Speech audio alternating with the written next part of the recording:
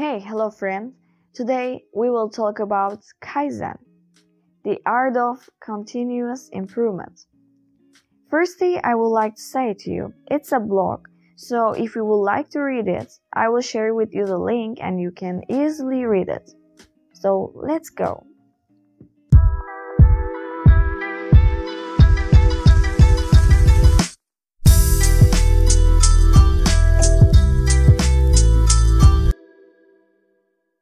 So, what is Kaizen?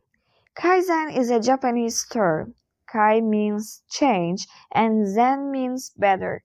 We can also generalize with continuous improvement for Kaizen. Basic principles of Kaizen. The Kaizen philosophy focuses on continuously improving a product through small changes. Rather than waiting for significant changes, the aim is to make incremental alteration to the product.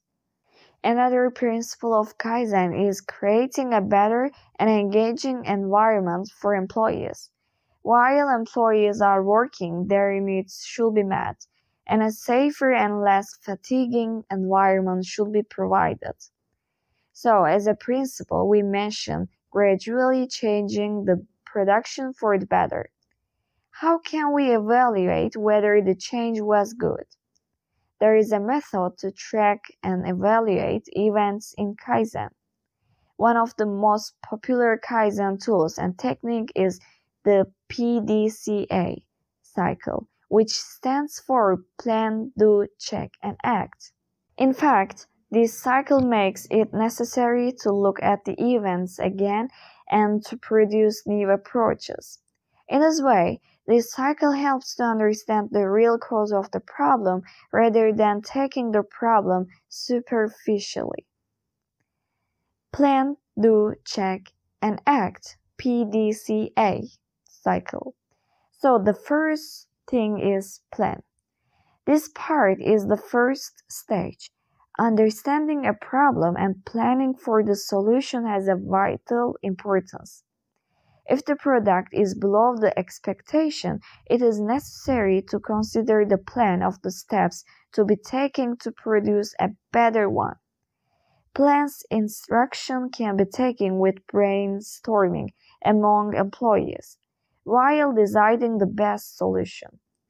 It is important to keep an open mind. There is a tendency to introduce bias to a solution that we had previously generated.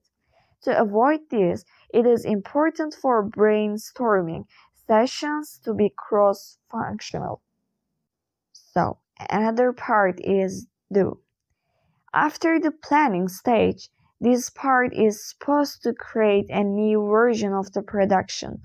While creating the production analysis should be kept and recorded. Record the actions taken and the process followed during the implementation phase. This documentation helps in understanding and reviewing the steps taken and serves as a reference for future analysis and improvements. The another part is check. What you were hoping, what did you get?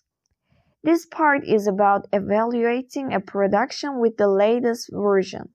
How did the production change and improved?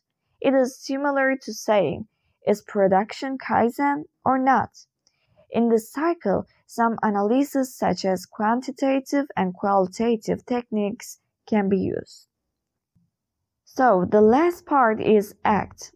Act is the final step of the cycle. If the cycle have a good result for the production, the solution should be standardized and sharing among the company. The key is sharing what you have learned while the cycle procedure, and it is to advance and develop it, this knowledge set over and over again. So in this blog, I just try to pay attention Kaizen. Kaizen is about continuous improvement. So while making continuous improvement, how we are doing, we are just making small changes for the big good result.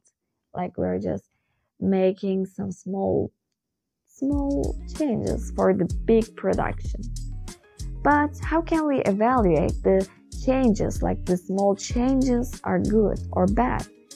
And we can learn, like we can evaluate as like doing the cycle plan, do, check, and act cycle. I just try to share short information about it, and I think you can dive into the, the like the cycle much more, which I talk about it. But yeah, oh, thank you for listening.